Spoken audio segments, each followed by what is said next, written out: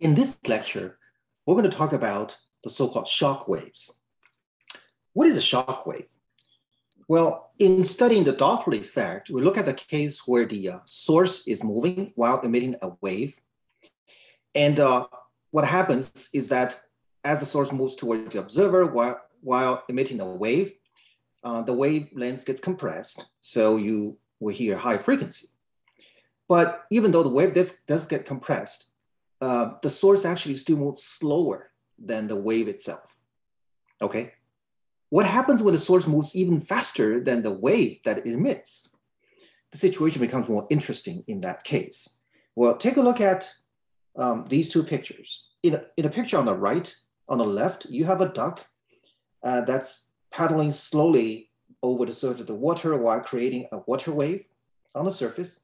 Here, obviously, the duck moves slower than the wave it creates. So you see ripples both in front and behind.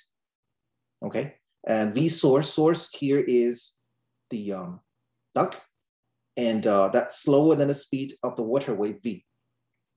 But in the second case, the duck swimming faster, and you see a uh, you see a cone-shaped region where where there's a there's a ripple trailing behind okay? And you see nothing in front of the duck, you know, you don't see any wave in front of the duck. It's because uh, the wave doesn't move as fast as the duck, so therefore it cannot move ahead of the source, which is the duck. Okay, that's when source Vs, the speed of the, of the source Vs is faster than the wave, speed of the wave it creates. In fact, the second case is an example of what's called shock wave.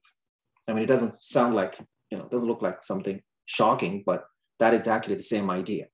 Anytime when the source that creates a wave travels faster than the wave it creates in that medium, you have what's called a shock wave. Okay, so here is a diagram that um, illustrates the uh, region in which the shock wave exists. Now, suppose I have a, an airplane that starts out from here, from this point, moving along the positive x direction, while at the same time emitting a wave. Okay, as it passes, as it breaks through the air, it creates a wave which propagates in circles centered at where the wave is is is um, first initiated. So at, at, at a certain mo initial moment, um, a wave is created while the airplane is, is at position number four. So you see a big circle of the wave coming out. Okay, that circle has has, has, has the biggest radius, and that circle is labeled number four. So time t later, the circle um, becomes this big, okay? But at the same time, during the same time interval t, the airplane itself has already broken out of that circle because it flies faster than the circle, uh, than, than, than the wave it creates. So the wave has reached forward at, to this position, okay? But the airplane has moved to point B ahead of that right? Because the airplane flies faster than the wave it creates, which means it's faster than the speed of sound. Okay, now during this whole time, the airplane keeps on creating more and more waves, uh, except those waves are created later. So therefore, they didn't have as much time to travel. So the circle or the sphere they created would have smaller and smaller and smaller radius. All right. So here is, for example, um, uh, a circle that that is smaller. It started out at point number one. That's the center of that circle, point number one. It didn't have much time to uh, propagate. So by uh, so at the moment this picture is taken, um, the uh, the circle has a smaller radius. Okay, um, and then by the time the airplane reaches point B, this is the moment this picture is taken, and a wave has just been created by the airplane. It doesn't have a chance to travel yet to propagate yet. So the circle just reaches the dot at point B.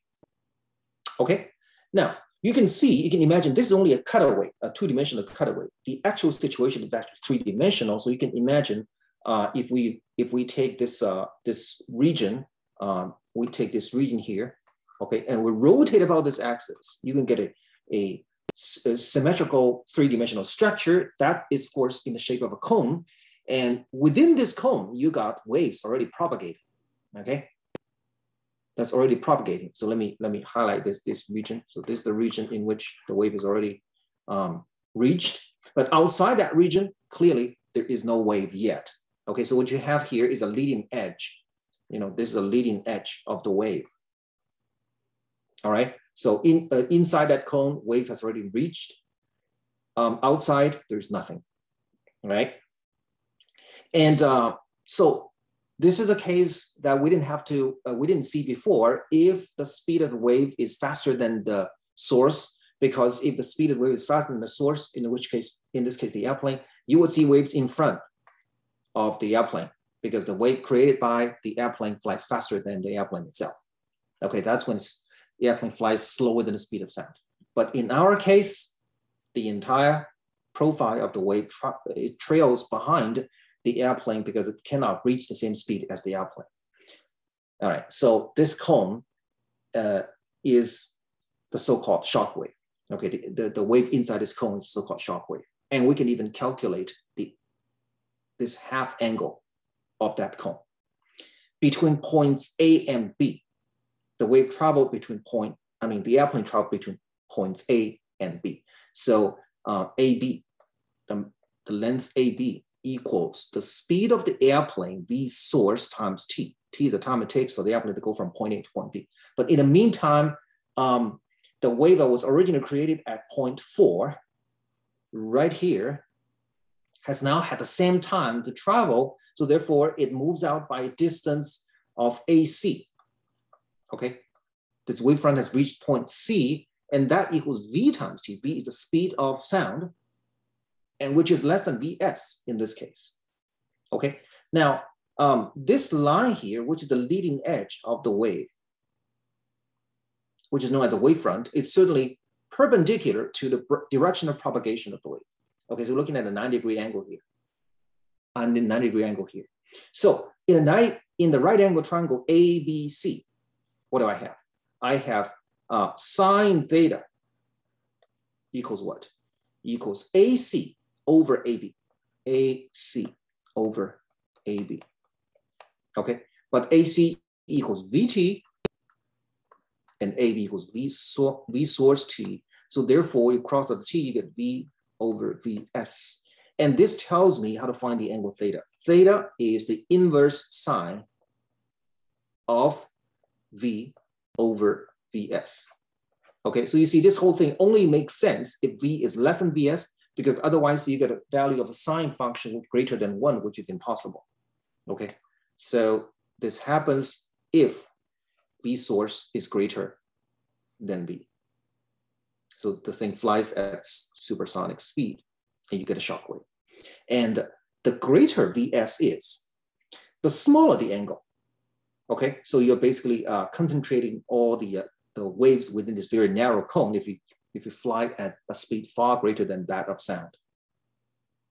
Okay, and we're not limiting ourselves to, you know, uh, to an airplane flying through air in, uh, in supersonic speed. Anytime the source travels faster than the wave it creates, you're gonna, you're gonna get, you, get yourself a shock wave. And we see, you know, the, in this case, the duck travels faster than the water wave it creates, you have yourself a shock wave. Okay, so why is the shock wave um, important and how is it different from a conventional wave? Well, we already saw, um, you know, from these two pictures of the duck, in, a conventional wave, the wave arrives before the source does because wave travels faster than the source. And you got the wave traveling in all directions. Okay, the wave is not concentrated, right? But in a, in a case of a shock wave, you know, for the picture on the right, um, the wave is concentrated in this cone-shaped region. And uh, if you are here, if you're, you, you are an observer here, you don't there's no disturbance. Okay, and then all of a sudden, when the duck reaches this point, then the front of the of the uh, shocker will pass over you, and you're going to suddenly get a disturbance. Okay, so there's a sudden onset of that uh, of that shock wave if you're an observer. Unlike conventional wave, and comes in gradually. There's no sudden onset. Okay, that's that's something to keep in mind. And here is um, a, an illustration of a supersonic jet flying overhead. Let's say uh, the supersonic jet is right here, right above you. And so you are an observer and you are here. okay? Now, when you watch, when you when you raise your head, you're going to see this jet right above you. But do you hear anything at this point?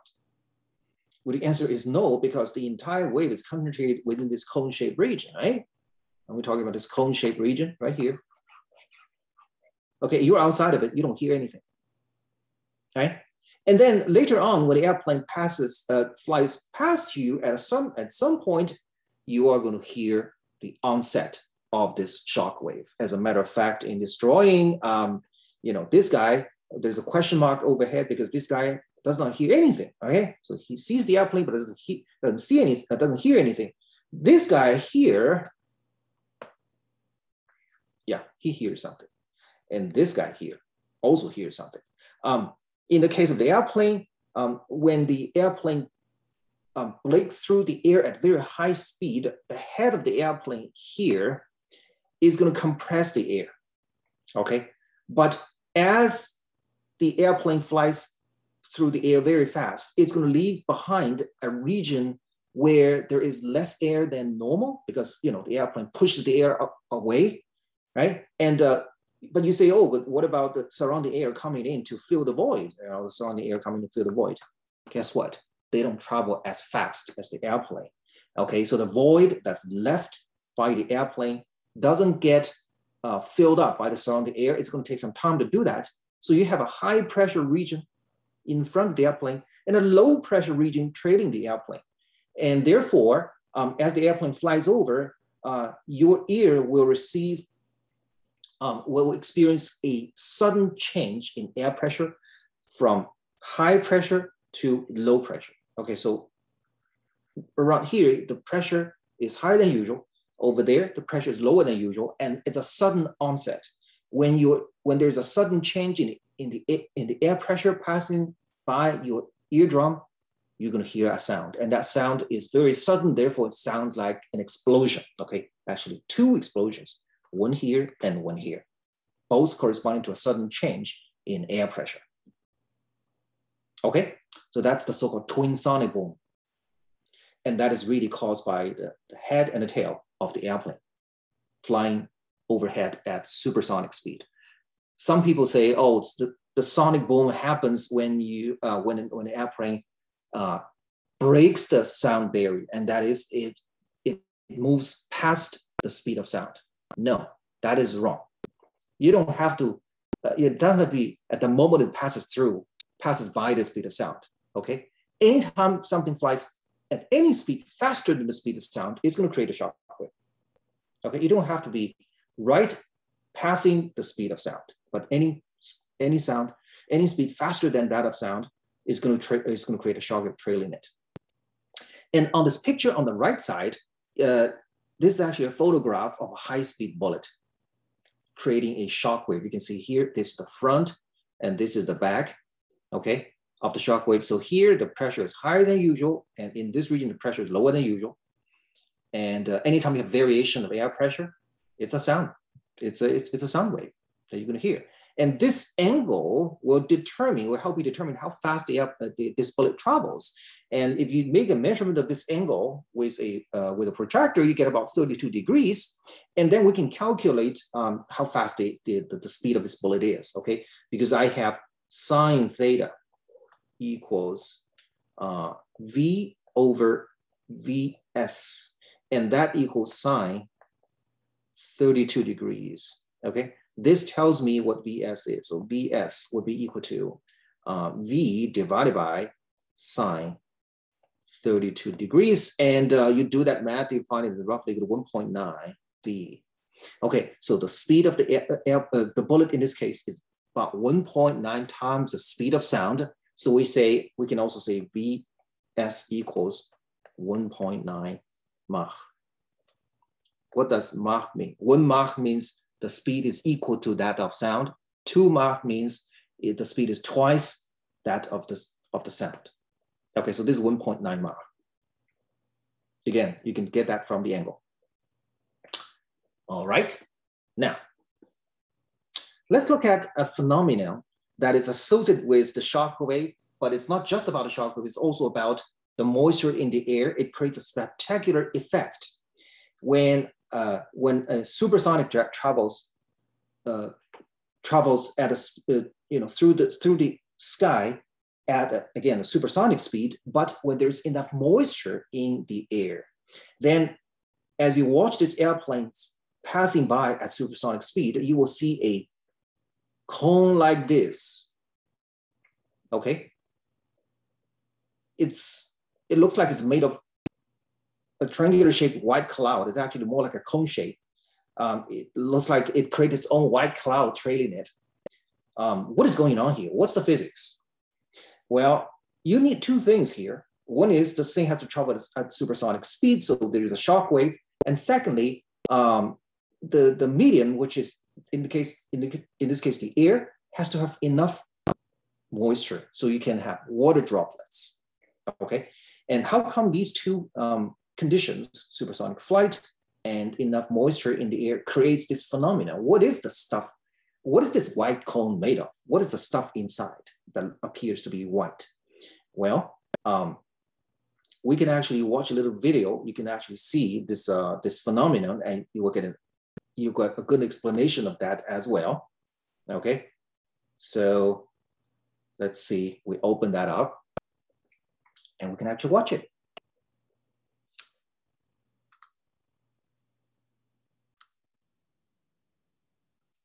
San Diego, California, October 2010.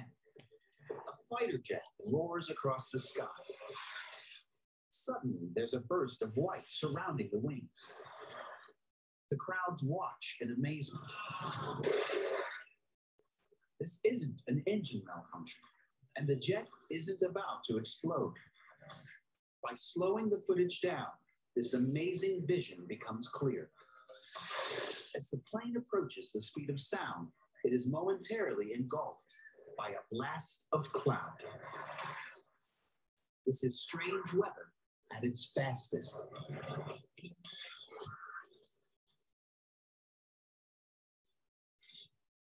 Meteorologist Steph Golter explains exactly how this bizarre cloud is formed. To form a sonic boom cloud, you need two things really. You need a lot of moisture in the air, and you also need a plane traveling really, really fast. As the plane's hurtling along and getting faster and faster, the air ahead of the wing is all becoming really compressed, but behind it is all stretching out. And that allows the pressure here to drop that allows the air to expand. And as it expands, it cools. And that cooling allows the water vapor to condense. And that's why the cloud forms. The sudden change in pressure from high to low that creates this cloud formation. Steph demonstrates exactly how this pressure change works we can imagine this to be our atmosphere then. And inside we've got some air and we've also got some moisture as well. Now we can pretend that this is our atmosphere around the plane and we can show that going from high pressure to low pressure creates a sonic boom cloud. Now, I've only got two hands, so I'm going to need a little bit of help in order to make the pressure here a lot higher. Now, this is what happens ahead of the wing. The air is all being compressed, but suddenly, as the air passes over the wing, the high pressure goes to low pressure and you've got a cloud.